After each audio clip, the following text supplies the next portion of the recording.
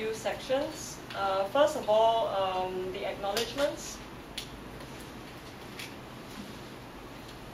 I would like to acknowledge how this book came into existence. It was all thanks to the encouragement of my ex-case manager, Miss Ang Suying. I had written an extended letter to my friends to explain what had happened to me. Suying had taken the initiative to show it to some of her colleagues working in the medical sector, and the feedback was very encouraging. This led me to turn the letter into a book. Alongside Suying's support, the actions of my mother were instrumental to my recovery. Not only did she encourage my friends to persuade me during my period of denial that seeing a doctor was a good idea, she also did the unspeakable of mixing medications into my meals without my knowledge. Although some might say that this was unethical since I had personally refused my medications, it had the effect of making me clear-headed enough to realize that something was indeed wrong with me and that I had to get myself to a psychiatrist. Further, my mother was determined that I should become as independent as I was before my descent into madness. To this end, I was not allowed to move back home but was forced to live for myself.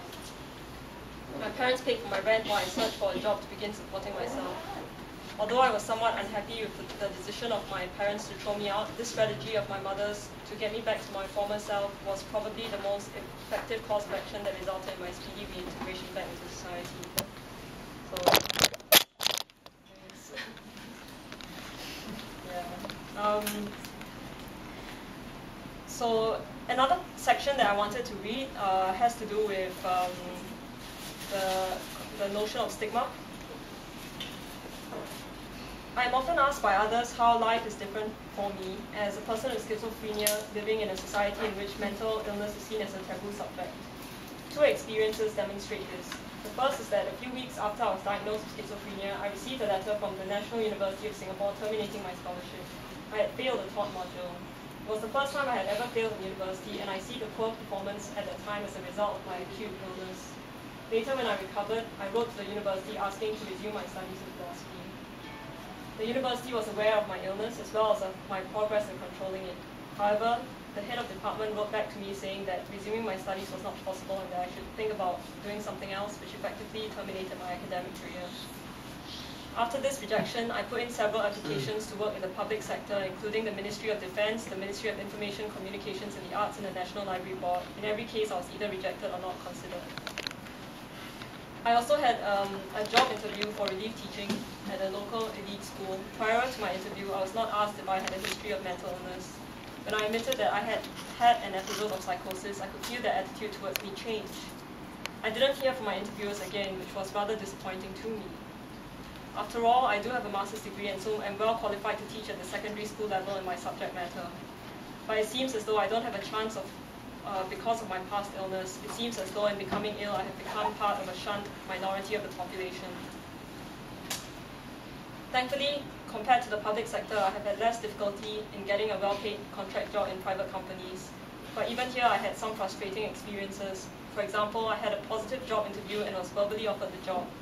Later on, they did a double take when they realized that I had declared my condition on the job application form. They decided to ask me not to come in for work after all. From these responses, it looks as though I'm being discriminated on the basis that I had schizophrenia. It makes me, or that I have really, um, it makes me wonder if people with mental illness are assumed to be heading towards failure and hence not given the opportunities they might otherwise have had. It makes it pretty clear to me that succeeding in our society is extremely difficult if you allow it to be known that you have a mental illness. Would an employer not hire someone because he has diabetes? I do not think so. Yet I hear that a diabetic person can spiral out of control and his health can severely deteriorate if he is not treated. On the other hand, if his condition is under control, the diabetic person should be able to function well and work well. Likewise for the person with mental illness. If one's condition is stable, then one should be able to work and to function well, just like everyone else. So I think people with mental conditions are often unfairly stigmatized mental illness doesn't necessarily mean being incapable of working or making a decent living for oneself. Yet this is how people with mental conditions are being treated, it seems. Disregarding the state of control they were able to establish in their condition.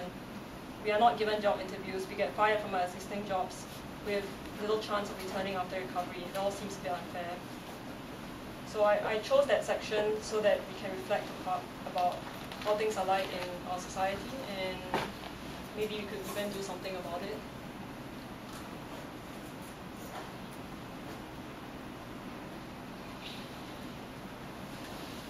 The next section I picked out um, is quite different and it's about what being a mental patient in hospital is like.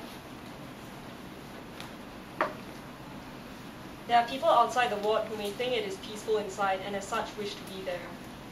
It almost seems as though people would make excuses and create pretenses in order to be in the ward. You might pretend to be ill in order to stay in the ward and avoid the pressures and responsibilities of the real world outside. But the idea of wanting to be in the ward seems ridiculous from my point of view. It was unbearable to be inside. For the most part, I was afraid I would never get out.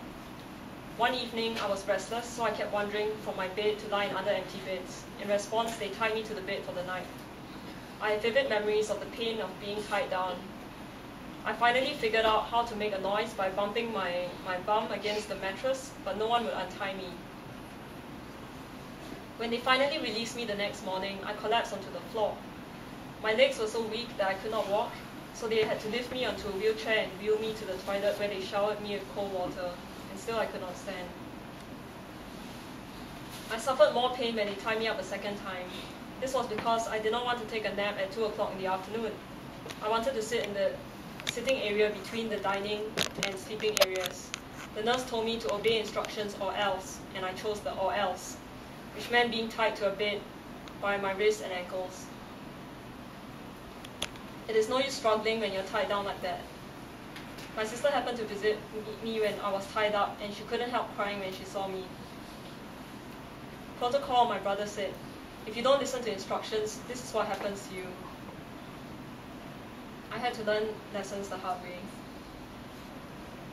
For a while, I did not understand why I was in hospital. I did not believe I was ill. I thought this unfortunate set of circumstances had happened because I had attended a series of opposition party meetings when I was 17.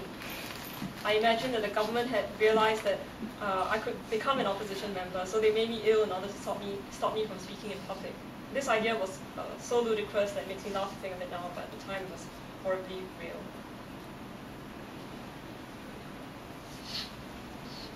Okay, and the, the last section that I picked out um, is in chapter 9 of the book, and it has basically, it, uh, the, the chapter basically describes three particular worries that I had, that I was having at the time, and I pick out the second worry, which is about secrecy, because I think it's a very pertinent issue uh, for people with mental conditions. I wouldn't like anyone to know I am ill. My parents told me to keep it a secret so I could make some new friends. And a social worker told me that many people with my condition choose to keep their illness a secret from their employers. When I approached Silver Ribbon Singapore to ask for help with my book, they wanted to meet me. When we met, they emphasized that I was young and that I should think carefully about going public with my condition. The worry was that I would not be able to find employment if everyone knew about it. The idea was that employers do not generally hire those with a previous or existing history of mental illness. The idea was to keep men men my mental illness a secret from employers so as to get a job. My parents said, when you're successful, then you can reveal that you're mentally ill. But I should not let it be known that I'm mentally ill before becoming a successful person. Why? Is it because the stigma against mental illness would prevent me from even having the opportunities to prove myself? Is being mentally ill such a bad situation to be in that one is ostracized and alienated by the society that one lives in? So far, I, I have experienced sympathy and, and empathetic responses from people. Most people do not give me disgusted looks. They do not avoid me. One person, during the writing of this book, one person also from the Straits Times offered to interview me about this book. Am I being naive in thinking that my book be helpful, a consolation to those who have been ill and to those who have family or friends who are ill? Or will publishing the book have negative ramifications on myself? People of my generation really admire ambassadors of mental wellness, ambassadors such as Harris Ng. Harris Ng is one person who went all out with being honest about his condition. Why shouldn't we follow in his footsteps? In being open about his illness, he must have brought significant cheer to those suffering from illness and to those who have family or friends suffering from illness. Should we stand in one corner and admire him and do nothing ourselves? It reminds me of the story of the tightrope walker who crossed the Niagara Falls on tightrope and then asked people if they believed that he could do it again with a man on his back. When they said he could, he asked who would volunteer to be that man, and all fell silent. We agree that Harris Ng is a courageous man for coming forward with his illness and telling his story. Should we not also tell our stories and, and share our experiences of coming to terms with illness? Should we not raise philosophical and fundamental questions about mental illness? Should we not raise awareness about mental illness? I have reminders all over my apartment, posters on the walls reminding me to take my medications. But the reminders are shrouded in secrecy. Take your M, says one. Take your supplements, reads another. The word medications is not used because the word in my family is taboo. It is as though one could get ill by saying the word, or rather all the sadness and worries associated with my getting ill would return. I feel very anxious every time I have a conversation with someone. I'm naturally inclined towards deep conversations, so I worry that talking about myself will lead me to reveal my condition. I have to be on my toes in every conversation. Sometimes I wonder if the effort is worth it, if it is better just to avoid talking to other people about my personal life so I can avoid the trouble of revealing my condition, because it now seems as though it is a part of me that people have to know in order uh, to know me. But of course, I can't avoid talking to people forever. I have to maneuver around conversational topics and even avoid questions about what I was doing from 2008 to 2009. If I was going to be honest, there is sometimes no way to avoid talking about my condition.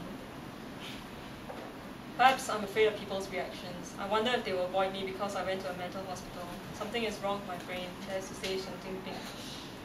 So my fear of people's reactions also gives me anxiety. I don't just worry about having the condition, I also worry about what others think of me.